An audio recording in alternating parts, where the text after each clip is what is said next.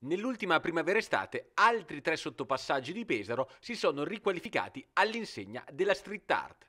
Dall'opera Falesi al San Decenzio realizzata attraverso un workshop guidato dallo street artist Albero Nero a Intergalactic di Via Gradara, omaggio dell'artista luogo comune, fino a Urban Funky di Via Raggi che ha elevato l'arte di Claudio Sale. Tre lavori coordinati dall'Associazione Pesarese Reperti Urbani che rappresentano un salto di qualità ulteriore al già accattivante progetto Sottopassaggi d'arte urbana coordinato per il comune da Massimiliano Santini. L'obiettivo è sempre lo stesso, rendere arte luoghi grigi trascurati della città come i sottopassaggi.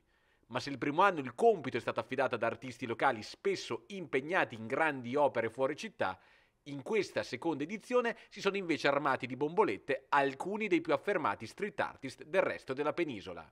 Ne abbiamo fatti diversi l'anno scorso, uno solo, quest'anno tre, tutta l'estate è stata super impegnata con tre diversi, completamente diversi artisti, tre modi di lavorare completamente diversi nelle tematiche e siamo qui proprio oggi per spiegare questa estate lunga e piena di, di appuntamenti che ha reso ancora di più l'associazione Reperti Urbani più, più grande con nuovi associati.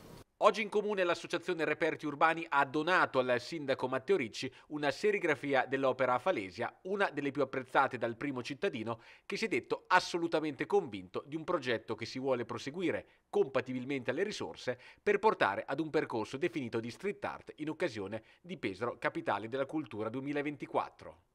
Già, perché non va dimenticato che non c'è solo l'abbellimento di zone grigie degradate, c'è pure il valore aggiunto che il colore lo portano street artist di fama internazionale. I nostri lavori iniziano mesi e mesi prima con l'individuazione di una parete e successivamente l'individuazione di un artista che può essere assolutamente inserito in maniera idonea nel luogo.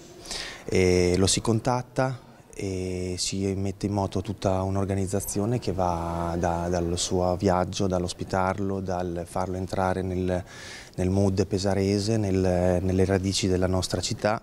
E questo lo guida nella realizzazione dei suoi interventi. Gli artisti che invitiamo lavorano su pareti ormai da, da anni e sono artisti internazionali e noi oltre a riqualificare portiamo proprio del, una, un museo d'arte a cielo aperto, quindi con nomi molto molto forti nell'ambiente della street art.